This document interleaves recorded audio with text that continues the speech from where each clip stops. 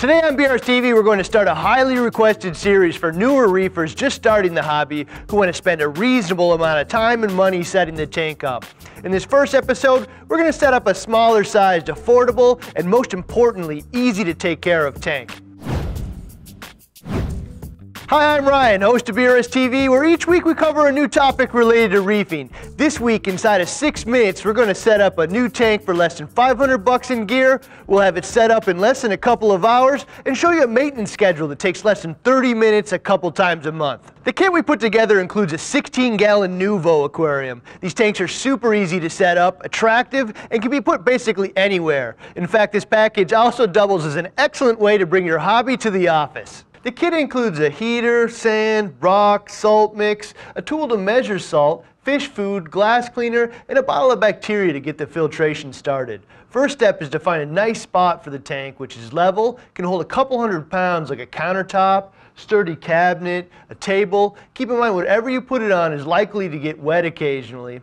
It is recommended not to put it in a spot where the tank will sit in direct sunlight. Next add your rock. Try and stack it in a way that keeps the rock a few inches from the sides and top as well as stable. Pour in the sand and spread it around the base of the rock. So we added 15 gallons of water to this Brute trash can. It's probably the most popular type of mixing container. Mixing the water is super easy. You just add the salt to the water and look through this tool called a refractometer to measure the salinity. The scale inside measures the salt in parts per thousand or specific gravity. More or less just dissolve the salt, add a few drops of water to the lens, close, wait 20 seconds or so, and look through the eyepiece. It should read 35 parts per thousand or 1.026. 15 gallons of water should take around 7 or so cups of salt. Unlike the bioassay version, the standard version of Crystal Seas Marine Mix contains a dechlorinator, so you don't need to be concerned about the chlorine in your tap water if you're using the standard mix. While you're waiting for the salt to dissolve, take a moment and check all the tubing connections on the pump and get familiar with the back of the tank. This area in the back is used to house equipment like pumps, filters, and heaters where they're out of the way. Go ahead and mount the heater in one of the chambers on the left or right, fairly low, so it will stay submerged at all times. Once you have everything situated, pour in your mixed salt water and plug everything in. Since we're dealing with water, the ideal outlet has a GFI like one you'd find in your bathroom or kitchen, but you can also use a power strip with the GFI built in. At minimum, make sure you arrange the cords in a way that will cause the drips to fall off safely rather than travel down the cord to the outlet, which is called a drip loop. Pretty much every electrical item in the tank will show a quick diagram on how they suggest to do it properly in the instructions. Now that the water is circulating, we just set the water to 78 degrees by tapping the button and replace. Install our lights, and the tank is set up. This literally took us less than an hour to do from start to finish, and all we need to do now is build up the beneficial bacteria to start filtering our tank. You probably notice we don't have an actual filter on the tank like you might expect. That's because the filtration is primarily done on the surface of the rock and sand where beneficial bacteria populate and process excess food and fish waste for you.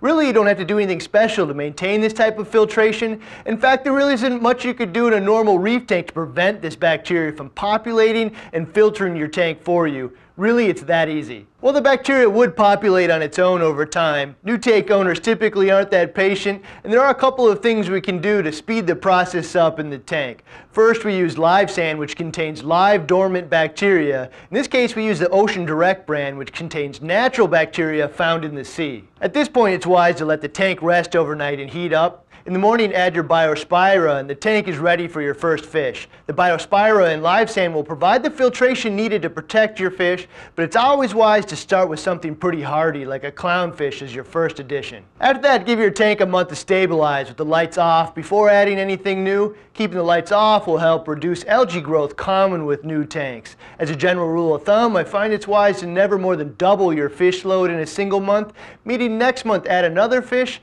and possibly two the month after. Some of my favorite new reefer fish selections for a tank like this is standard clownfish, purple or red firefish, shrimp and goby pairs, lawnmower or Midas blennies, or an orchid dotty back. Once the tank is stabilized around your fish population, you can add some interesting elements like snails, crabs, and shrimp. Nassarius and Astrea snails are popular, as well as small hermits, emerald crabs, cleaner shrimp, peppermint shrimp, and pistol shrimp. After that, some easy to keep corals as well. The lights that come with the kit are strong enough to keep some low light corals, As a beginner, it's also wise to select some that don't require much effort, like soft or even some LPS corals. Zoanthids, mushrooms, zoocordia, polyps, candy canes, duncans, torch, and frog spawns are excellent examples. Now that the tank is set up, there's a couple ongoing maintenance steps to keep the tank healthy. First is feeding the fish. These little buggers always look hungry, but don't let them fool you. Easy to keep fish like the ones I just mentioned only need to eat once a day at the most. Many people even feed less. When you do feed them, they only need a few pellets each, which is just a tiny pinch. This is a pretty critical point on a small tank like this. Keep in mind that while fish do need food, the primary thing that pollutes the tank is food, and it does promote algae growth. You also need to top the tank off with fresh water every couple of days. Keep in mind that while water will evaporate, the salt doesn't leave the tank, so topping off the tank with new water to compensate for evaporation should always be done with fresh water, not salt water. We recommend picking up a few jugs of reverse osmosis or distilled water from your local grocery store for this purpose. Less frequently, you'll need to clean the glass. You can use a JBJ cleaner that we included with the kit. You'll also need to change the water regularly in a small system like this, meaning every other week. Water changes are the primary method of removing broken down food and other elements which can pollute the tank over time. Water changes will also be a new reefer's primary method of replacing elements consumed by the corals in the tank. I like to do 20 to 30% water changes, which are super easy and shouldn't take more than a few minutes. First thing is you'll want to use the small heater and pump from the package to mix and heat the salt water before doing the change. I find it easiest to take a minute or so to do this the night before I do my water change, but could also be done a few hours in advance as well. For a tank this size, I'd probably do close to a 5 gallon water change. All you need to do is remove the water from the tank and replace with your heated freshly mixed salt water. There are 100 ways to maintain a successful reef tank, but I can tell you something for absolute sure. If you're careful about the amount of food you put in the tank and good about your water changes, you're almost certainly going to have a lot of success and enjoy the hobby. In future episodes, we'll explore some upgrade kits most reefers would be interested in as their tank evolves and interest in the hobby grows. This video is intentionally pretty high level and provides the elements you absolutely need to know to be successful. If you have the desire to understand this at a deeper level, we have literally hundreds of other reefing videos, most of which cover a vast majority of topics related to reefing. Really anything you'd want to know in a pretty in-depth format.